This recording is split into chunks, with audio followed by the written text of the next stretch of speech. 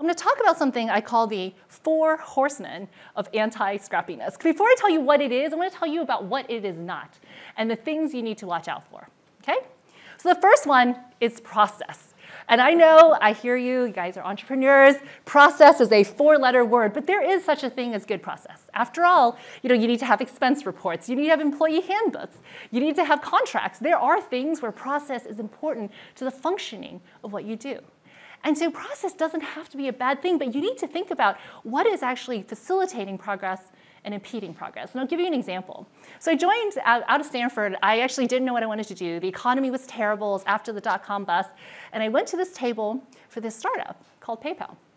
And now it's obviously not a startup, but it was a few hundred people at the time.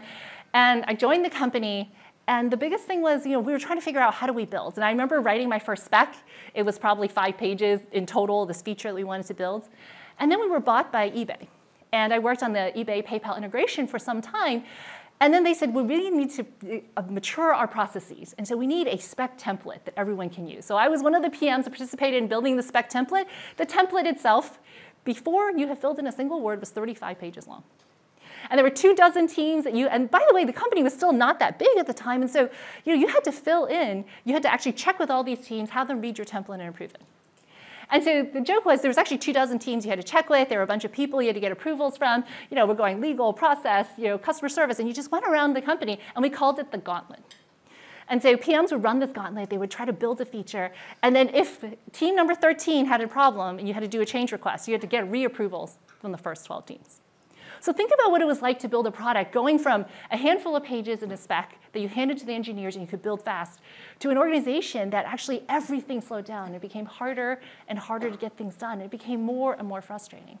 And that's when process is playing against innovation because now you can no longer test anything. You had to get approvals through all these people. So you had to have the right product. You had to know exactly when you build. And you had to know it at least a year ahead of time because it took that long to run the gauntlet, get it coded, and get it out to the market. And that's what bad process is. I would say that beyond that, though, is the veto. You know, there are organizations where there are everybody gets a chance to say no and nobody gets a chance to say yes. And you know, this can happen with small companies and big companies. I've seen really consensus-driven cultures where actually everybody has to say yes. And if somebody's on vacation, heaven forbid, you forgot somebody in a meeting, you have to go back. And there was this project that I was working on, and I was kind of peripherally on it. I didn't understand why there were so many people involved when it seemed pretty straightforward. And one of the executives said, well, we didn't actually disagree and commit. We all agreed not, never to commit. So think about that, right? That the, this, everybody in the organization working on this was pocket vetoing this project to slow it down because nobody agreed and no one could say yes. And that's something which is very dangerous. You know, having a clear process, which I said in the first, actually to a yes, what does it mean to get approval? Who do you have to, who do you have to get the yes from? a lot of organizations don't have a clear, a clear way of thinking about that. And so it's really important that you think about who gets to say no, who gets to say yes, and who, gets to, who has to get out of the way.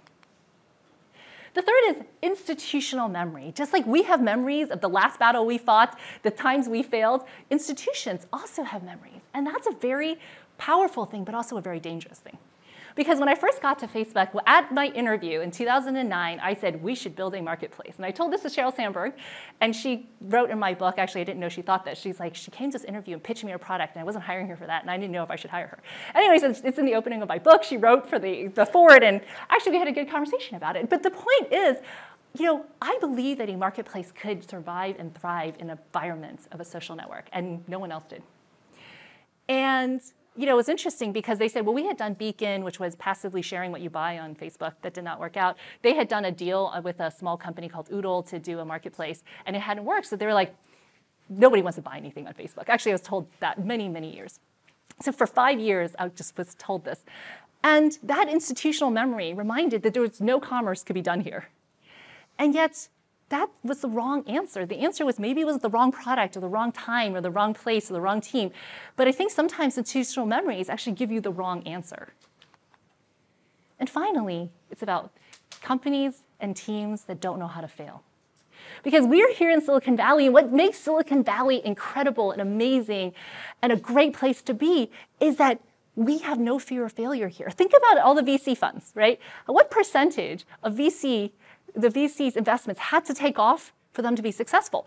But think about also how many failures there are. What's great about Silicon Valley, what's great about what we do in entrepreneurship is there is not a penalty for failure. You can raise again, you can try again, you can go to companies, you can, you know, that's the opportunity. And yet we take those lessons that we do as an industry, and then we go, well, the team failed at this, maybe they're just the wrong people.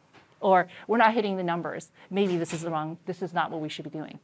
But if we don't teach ourselves to fail well, we actually are teaching the lesson of risk aversion which is slowing things down. How do we get everything right? How do we get, you know, we have to get everything perfect. And allowing perfect to the enemy of the good is actually anti scrappiness at work.